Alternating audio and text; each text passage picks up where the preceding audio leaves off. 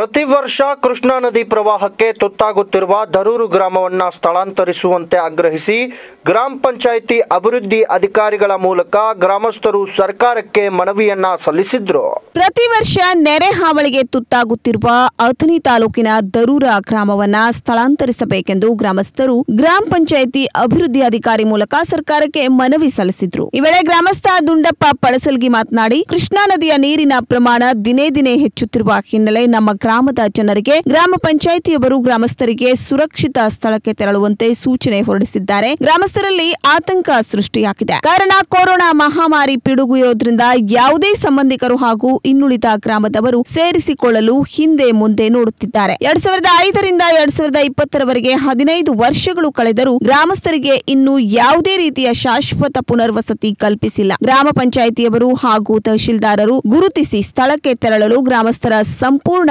ಒಪ್ಪಿಗೆ ಇದೆ. ಈ ಕಾರಣದಿಂದ ತಕ್ಷಣ ಎರಡು ದಿನಗಳಲ್ಲಿ ಪುನರ್ವಸತಿ ಸ್ಥಳವನ್ನ ಗುರುತಿಸಬೇಕು ಮತ್ತು ಪ್ರತಿ ಕುಟುಂಬಗಳಿಗೆ ಒಂದು ತಾತ್ಕಾಲಿಕವಾಗಿ ಶೆಡ್ ನಿರ್ಮಾಣ ಮಾಡಿಕೊಡಬೇಕು. ಹೀಗಾಗದಿದ್ದಲ್ಲಿ ಗ್ರಾಮಸ್ಥರು ಸೇರಿ ದರೂರ್ ಮತ್ತು ಹಲ್ಯಾಳ್ ನಡುವೆ ಇರುವ ಕೃಷ್ಣಾ ನದಿ ಸೇತುವೆಯ ರಸ್ತೆಯನ್ನ ಬಂದ್ ಮಾಡುತ್ತೇವೆ ಎಂದು ಎಚ್ಚರಿಕೆಯನ್ನ ನೀಡಿದ್ದಾರೆ.